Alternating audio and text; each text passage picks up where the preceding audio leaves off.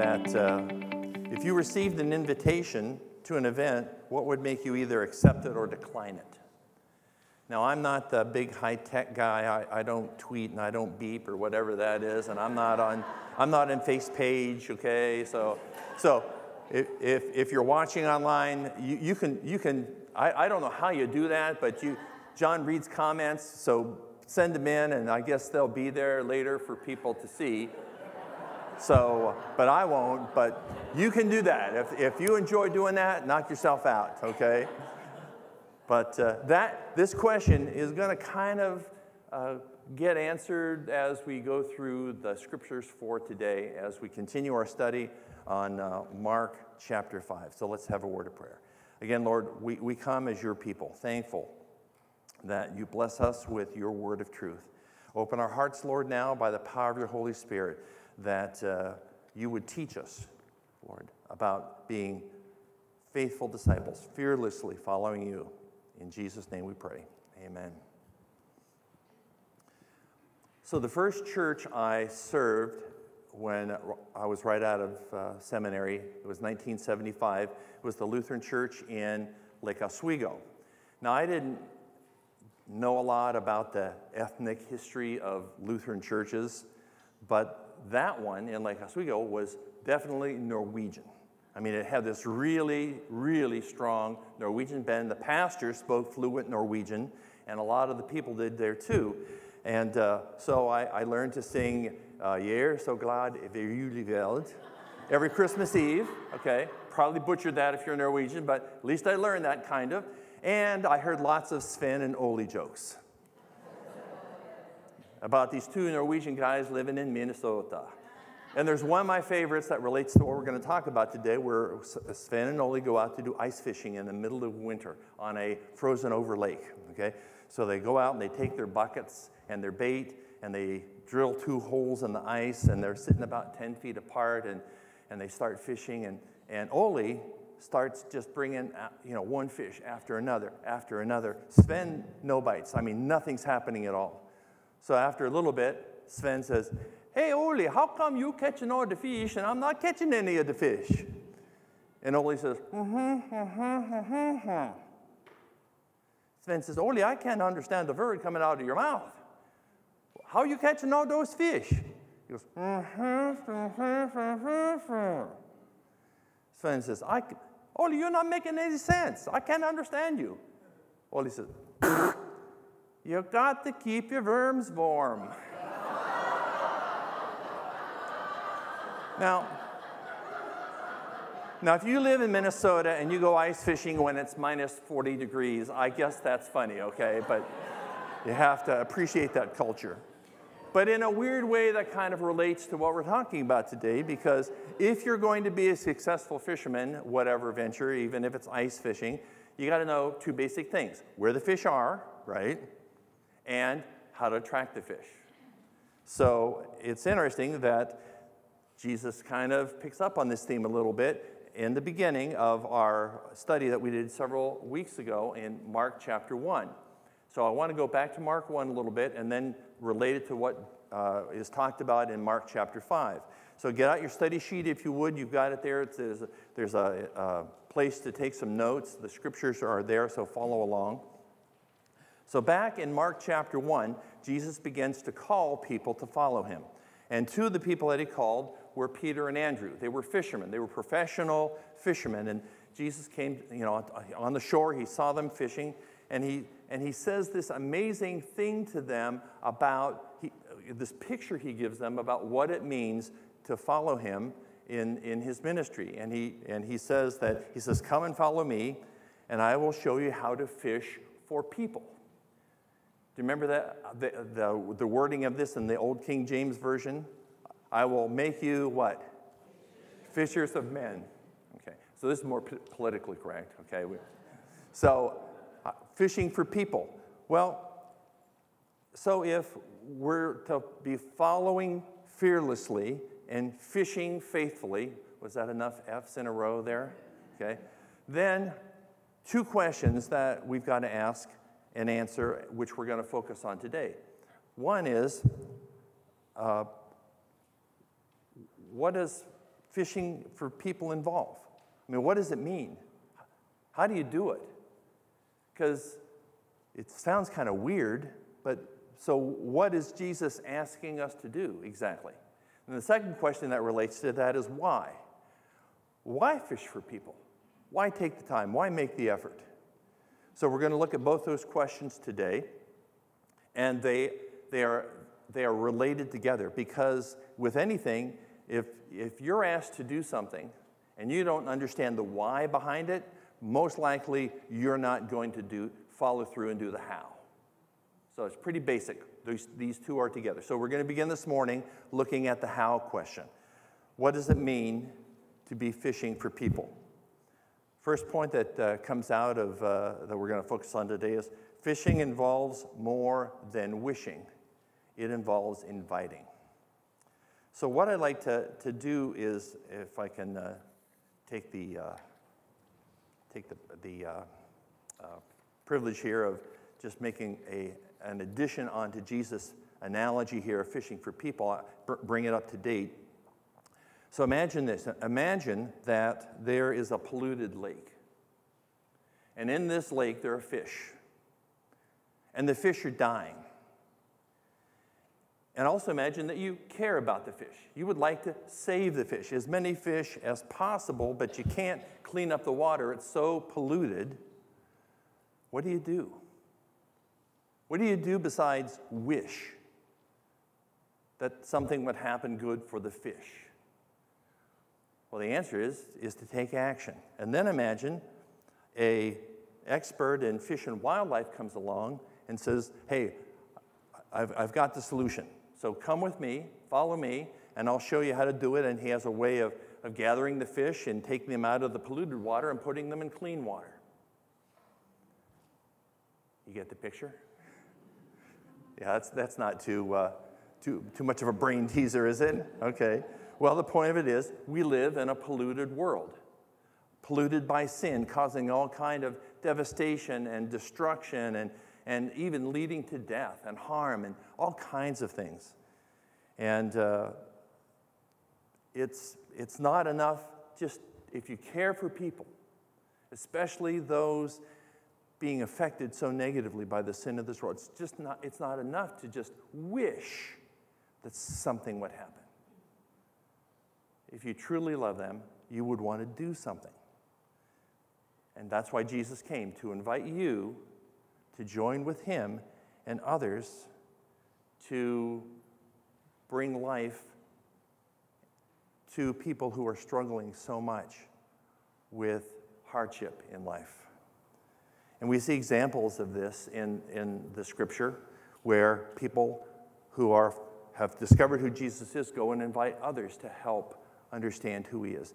Uh, back at, at Jesus, as Jesus began his ministry in John chapter 1, uh, we read the story about Philip. Philip heard Jesus teach. He recognized immediately that he was the Messiah, God in the flesh, that he was the one that had come to, to bring salvation to the world. So, what did Philip do? Did he keep it to himself?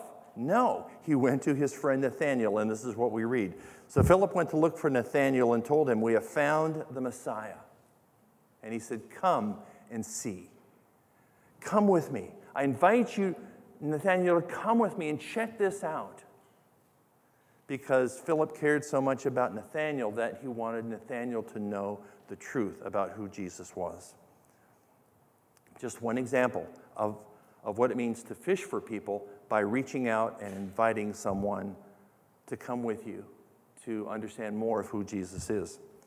Here's another picture that Jesus gives in um, Matthew 22, and it's, it's, it's in your uh, uh, outline, uh, where Jesus describes, and we talked about this in the children's message, where Jesus describes the kingdom of God like a party, a king who throws a banquet. And he has servants who have been invited to the party. And this is what he says to the servants Go out now to the street corners and invite everyone you see because this party just isn't for a few or for a select certain number. This party, God's kingdom, God's love, is for everyone. And we've got the joy of letting people know that around us. So that's kind of a, some pictures of what it means to fish going out and inviting others to come with you to discover the joy of Jesus Christ. Now, this is all backed up, and we see another kind of a picture or example of this in Mark chapter 5. And uh, so I'm going to summarize this. This is a long story. I ask that you read it for yourself because this is the first. This is uh, when I was in high school, our leader challenged us to read a, a gospel in you know like one chapter a week, kind of like what we're doing here. And I, I'm dyslexic. I don't like reading. I'm horrible at it. So I chose Mark because it's the shortest gospel. I'm going to get done twice as fast if I instead instead of picking John. So I picked Mark, and hey, it was okay. Jesus does this and Jesus does that and goes here. He does Jesus things all over the place. And then we get to Mark chapter 5. I'm going, wow, this is an incredible story. I've never heard about this stuff before. Here's the story. So Jesus gets in a boat with the disciples on the Sea of Galilee, sails along the shore. They stop at a Gentile region and get, get off. Now we know it's Gentile region because there's a lot of pig farmers. Jewish people would not be raising pigs because of dietary laws. So that's how we know that this is a kind of a Gentile area. And as soon as Jesus gets off the boat with the disciples, a man comes towards him to talk with him. This man is demon possessed. Not possessed by one demon, but by a legion. In fact, the demon's name is Legion, which means he has many demons inside of him. And we're not told how or why, but this weird conversation ensues back and forth. And Jesus has mercy on this man and casts the demons out into a herd of pigs 2,000 pigs who then run off the cliff and drown. Now, I'm telling you, if you're a high school kid and you've never read the Bible much before and read that story, it's like, that's the kind of Jesus I want to get to know more about. I mean, that's an amazing story. But we're not going to talk about that part of it today. Only to say this, and which is a sermon for another day. This story tells us that Jesus is the Messiah. God in the flesh who came, who has the power over sin and sickness and evil and even death itself. And I just want to say that um, if you've got questions about this whole demon possession thing, if you, if you don't get it, if you don't understand, talk with Pastor John when he gets back. okay. But the serious point for us this morning is this there's a lot of things that enslave people's souls in this polluted world today. It, it, things have a grip on people's lives, and it may not seem to them that they could ever be free. This story tells us that Jesus has power over the darkest things in our life and in this world and can free us and deliver us and save us and give us a new start if we simply come to Him and ask for help. The, the reason that I wanted to read the story is moving on to the second point, because it, it's a story that tells us what it means to fish for people. And it comes uh, out of the very end of the story. Now, after Jesus does this incredible miracle and this guy is healed and he's normal and the pigs are all, you know, floating in the water, the people, the townspeople look at this and say, uh, could you move on?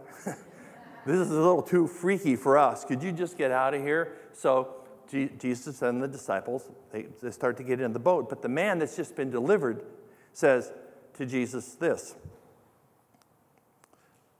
As Jesus was getting into the boat, the man who had been demon possessed begged to go with him.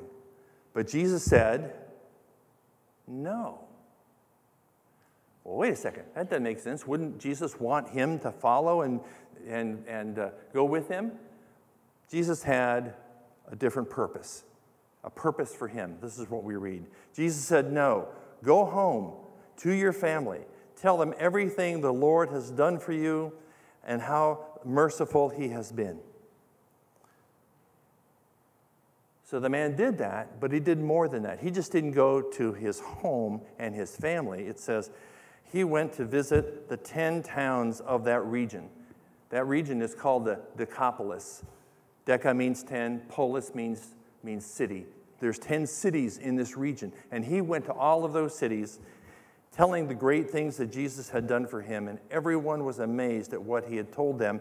He was answering the call, accepting the call to go out and fish for people, and inviting them to learn more about who Jesus was. And they were amazed.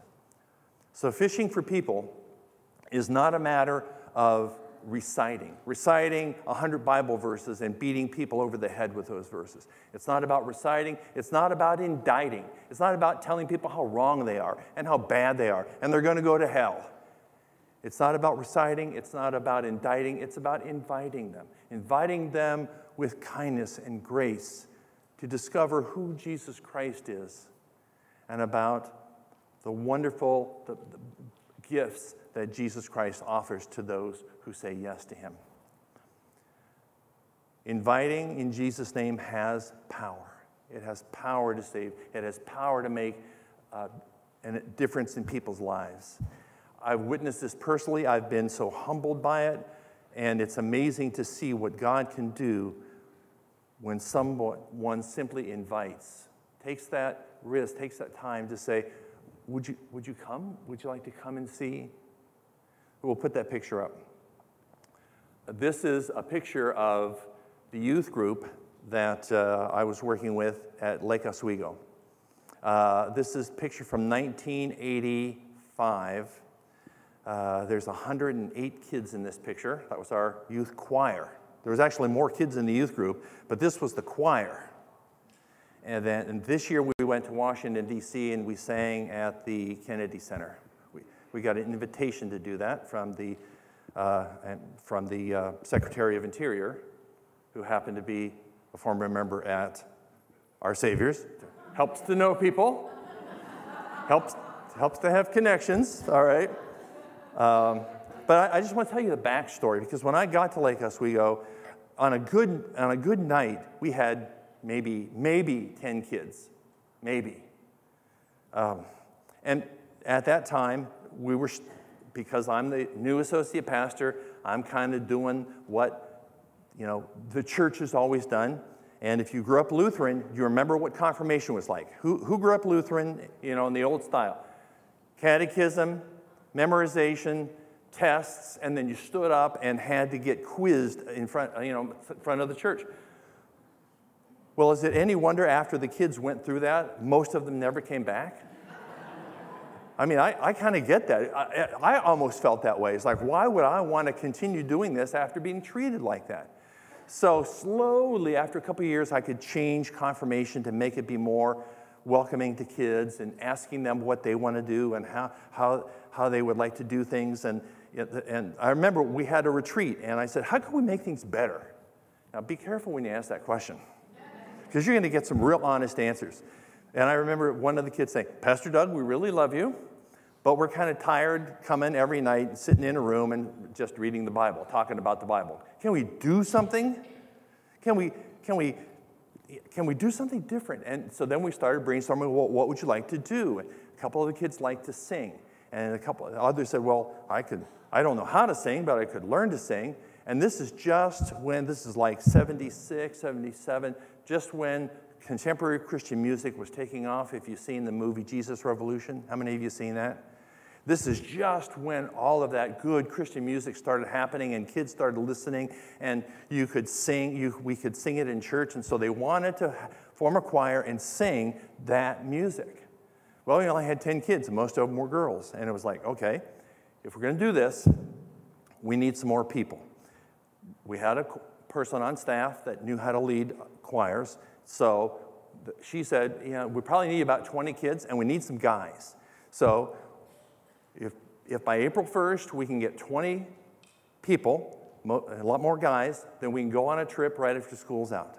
We'll go on a 10-day trip, music trip. And there was 10, and then there was 12, and then there was 14, right? You know, and it was, and this was I wasn't doing this. this. These were kids inviting their friends, most of them who did not go to church. And we, we talked about why we're doing it and how we're doing it. We went on that first trip. I had no idea what I was doing. I got back, I was exhausted. I mean, and we sang for churches, Lutheran churches, that had no kids.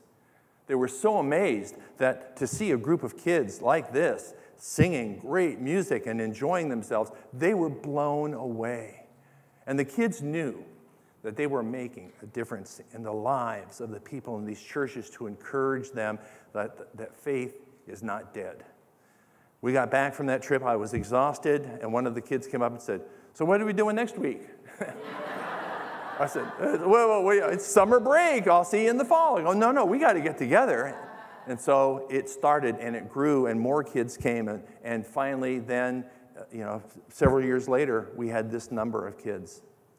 And again, the point of me telling you this, this is not me doing this. Uh, okay? I mean, I was responsible for, for caring for these kids and, and lifting them up. And all of these kids, were, were, they were in small groups. I trained the leaders, and the leaders worked with the kids, and all of these, they were cared for and nurtured in faith. The kids were doing the inviting. And this is how it grew from a handful to this number. And uh, it, it was amazing. It was amazing to see. And this, this choir, what we did, has, has had an impact on this church. Now you got to go back. Who was here in the, wow, 2005 range? Remember Amy and uh, Brian and Amy Campy? They're in that picture. Do you remember Pete McDougall, vice principal at the high? He's in that picture. Okay. Other, uh, do you remember uh, Ray Cook? Ray isn't here today, but if you know Ray Cook, his daughters were in that picture, in that choir. This, it's amazing what was happening back then is, is reaching out and blessing people here today. And I just want to give a more practical example of that. And uh, Alice, you're here today. Could, could you just do one minute, I mean, 30 seconds of standing up and say, How did you get here? I was part of GCS choir, not in 85, it was 96. In 96?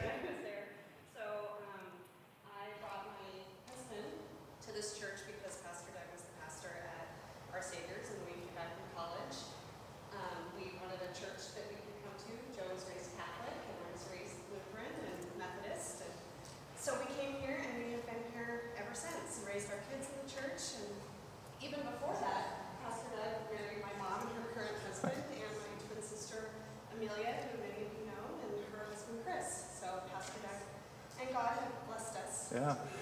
But how did that originally all happen? Okay, I'll tell that part. Okay, thank you, Alice. Okay, I'll tell that. Thank you. So, Jesse and I, okay, my daughter Jesse, who sings up here, uh, it was uh, Thanksgiving, I think, junior high. We were at the local school with the, our dog and met these two twin girls who had just moved here. And I don't think you guys knew many people, right? So it's like, well, why don't you come and be a part of things? And it started there, and then I, you know, I mean, it just kind of grew from there. You guys were in junior high, church stuff together, and then in GCS. I mean, it's when we invite other people in Jesus' name, the Holy Spirit has the power to touch people's hearts to change lives. This is not our invitation, it's God's invitation working through us. And I just, so that's why I just wanted to tell you this story to, to be encouraged to, to understand the power of invitation when we reach out to other people. Now, just quickly, I want to move on to the second question. That's the how, how we fish. We, you know, we don't w- simply wish, we invite other people. So here's, here's the why. Why do we do this? And let me put that uh, chart up there. So this isn't this is the best chart that I could find that we could maybe kind of read about decline in church attendance in the United States. Charts are a little bit goofy, but it doesn't go from zero to 100. It starts at 35 and, and goes down, and the bottom line starts at 1970 and comes over to about 2015. But you can see the trajectory. If you could see a chart, and I wanted to find one, I couldn't do it, that goes back to the 50s. Do you know what church attendance was like in the, in the 50s in the United States? What, about 60%. So from the 50s to the 70s, it dropped from there to 30%.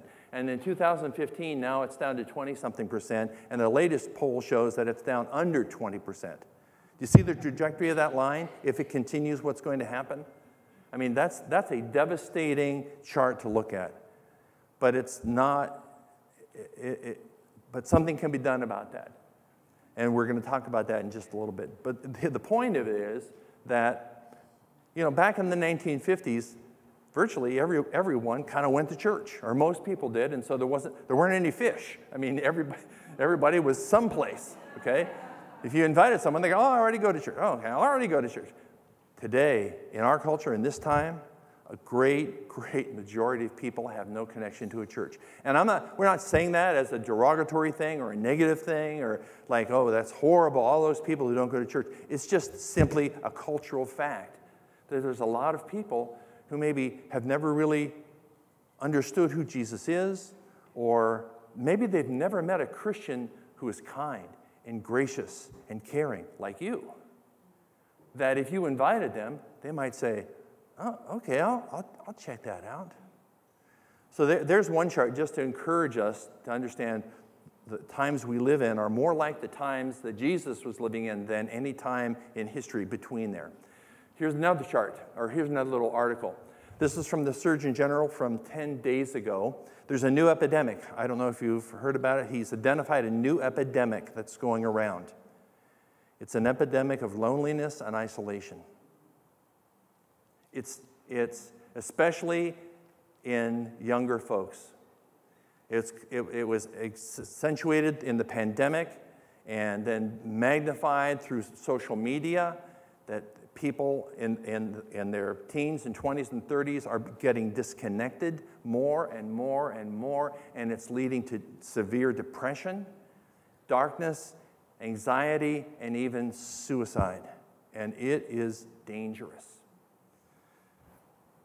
No answers, but that's the, that's the dilemma of living in a culture like we live in polluted waters. Well, the good news is God has an answer. God came to give us the answer. God came to say, listen, I don't want anyone to be isolated. I don't want anyone to be lonely. I don't want anyone to feel like they're the only ones. God came to fill every human heart with His love, His joy, His peace in Jesus Christ and then to call us to be in a family, in a community where we share those values, where we encourage one another, where we build one another up, where we can fight off all of those dark and depressing kinds of things. Now, the church isn't perfect, we're not perfect, but what's the alternative? This is God's, we are God's gift to this world. And so, if you want to kind of boil it all down, why make the effort to invite people? Why, why go through all of the, the things involved with fishing for people and inviting them? First, because it shows that we love Jesus. Jesus said, If you love me, you will obey my commandments. Now, I know obey kind of sounds harsh, and I, I, the, it's not the idea of, you better do this or else, Jesus says. It's not an obligation, it's not a duty, it's a privilege to do what Jesus has asked us to do. It's a way for us to say thank you.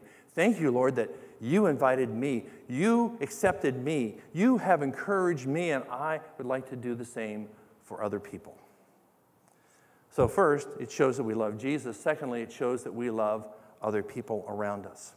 Now, y'all know the golden rule, right? Do unto others before they do it unto you.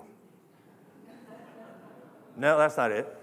Do unto others as they do it unto you, right? So if somebody treats you like a jerk, you get to treat them like a jerk. Nope, that's not it either. What's the golden rule? Do unto others as you would have them do it unto you. Treat other people like you want them to treat you. Okay? So if you were lonely, if you were depressed, if you were feeling lost, if you were feeling dark, wouldn't you want someone to bring hope, to bring life? To do something to lift you up and to encourage you, to invite you to be part of something that is good and life changing and transformative. If you love people, yes, you would do that. That's So the golden rule is kind of attached, you know, to what I call the platinum rule. Do for other people what Jesus has done for you. Jesus has invited you. Jesus has encouraged you. Jesus has accepted you. So, out of thankfulness, could you do that for other people around you? Yeah. Again, we weren't meant, when we received that invitation and accepted it, to keep it to ourselves. Accepting that invitation is implied that we're going to reach out and share that invitation with other people and let them know what it means to live in the blessing of God's kingdom and, and experience life at its best. Okay, so if you do that and they say no, oh no, what do you do if they say no? Well, uh, okay, uh, you know, you're not going to hate them, they're not going to hate you. It's just, it's just a no, it's just not now. But you've planted a seed because you've done it with kindness, you've done it with grace. You let them know that you care enough about them. No, you're not going to bug them and bother them and, you know, harangue them about it. You've planted a seed that maybe in a month or six months, something will happen and they'll remember that invitation, or you'll know that maybe it's time again to say, Would you like to come?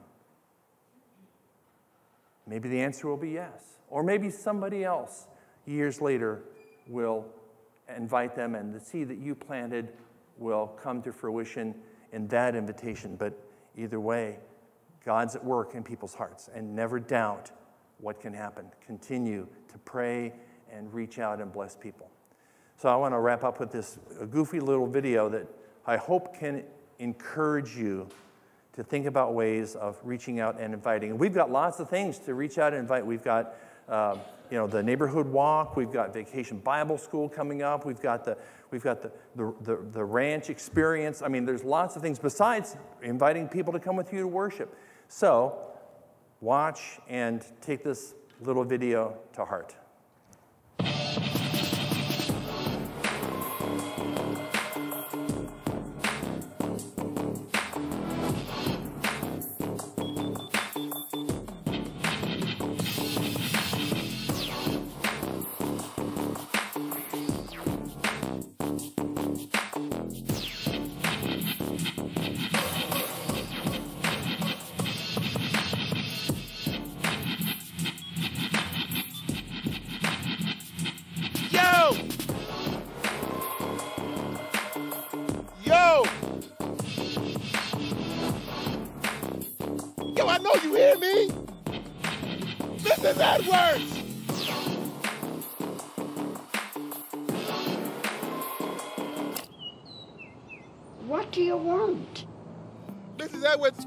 Ask you this like every week, but would you like to ride to church with me? Oh, come on, Mrs. Edwards, you'll like my church. We have some hot music. It may not be what you're bumping at all, but it's hot. We get down. What do you say, Mrs. Edwards? Oh, I suppose. I've heard it said that 80% of first time church visitors come because someone personally invited them. All people need to feel loved and wanted, and for some people, it just takes having someone offer to give them a ride to church. We have something great going on at this church. People's lives are being transformed by God's love. Your homework this week is to find at least one person who could use a little more of that love and invite them to come with you next week. Trust me, it's worth the extra effort. Mrs. Edwards, you want to listen to some music on the way? Go ahead, your choice.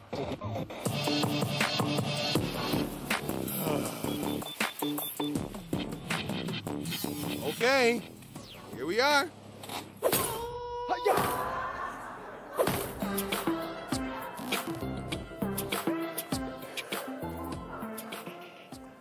I know I've goofed up the. Yeah, it's goofy, right? But it's, uh, it's true, right? Hey, I know I goofed up the slides, and so we'll, we'll go back to, to if you're here today to, um, uh, and for worship, and maybe, or you're watching online and you've never kind of thought about what it means to accept the invitation to believe in Jesus. maybe you've heard some things over the years, but you're never quite sure how it all relates and how it all fits. I just want to say thank you for coming today and thank you for listening and understanding that t- today Jesus is extending an invitation to you to be part of his kingdom. And all you have to do is say yes. In fact, in your, in your, uh, in your sheet that you've got, there's a, there's a space for you to write your name down or your initials to say, Yes, Lord, I accept the invitation to follow you as Lord and Savior of my life. And you know, there will be joy in heaven, you know, rejoicing for anyone who says yes and accepts this invitation. So pray about that if that's something you've never done. And go, we'll go to the next slide. And then if you have accepted that invitation and you, you are part of God's family and you've, you know how blessed it is to be a part of God's kingdom, would you accept the calling to fish for people, fish for someone, and invite them? And there's a place for you to write their name down. Who would that be? Who would you invite? Could you pray about that and write someone down? It may, maybe it's to the next Sunday or one of the events coming up, but just, just pray about that. That you wouldn't keep it to yourself, but you would reach out and share the joy that God has brought into your life.